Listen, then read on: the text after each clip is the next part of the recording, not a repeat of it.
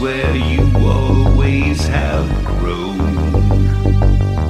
You will go to the garden, the place that is.